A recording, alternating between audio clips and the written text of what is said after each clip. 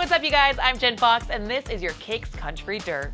Kane Brown made his acting debut on CBS's Fire Country earlier this year, and he says he has more on-screen gigs in his sights. You just got to remember your lines, but honestly, remembering songs, I, remember my lines pretty well.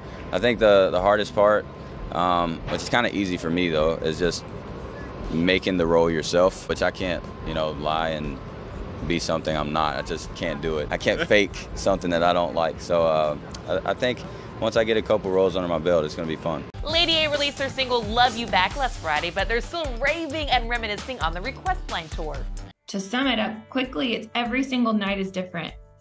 You know, we have a different set list, we have different really special personal moments with so many of the fans in the audience and um, it's been such an incredible experience. We've learned, I think, a lot just about just how to connect with our fans on a much deeper and intentional level. I think for us, you know, we've been doing such big venues for for so long and we love it and we want to, you know, get right back to hopefully doing that next year or the year after.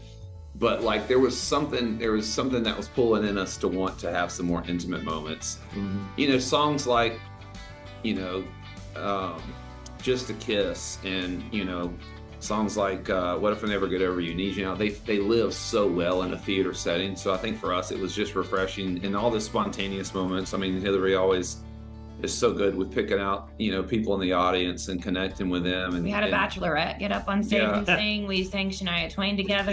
Yeah. You know, that's been the other part that's been really fun is we've not only gotten requests for our songs, we've gotten requests for a lot of other artists' songs. And you, you can't so, you can't have a lot of those moments in no. these big settings. You know, you feel like you got to just hit them over the over the head, you know, with rockers the whole time. And so I think for us, it was it was a way for us to kind of spread our wings musically. Parmalee Select's album For You, 2, is out now and adds five new tracks to the record, which already includes their hits Girl in Mine, Take My Name, and Just the Way.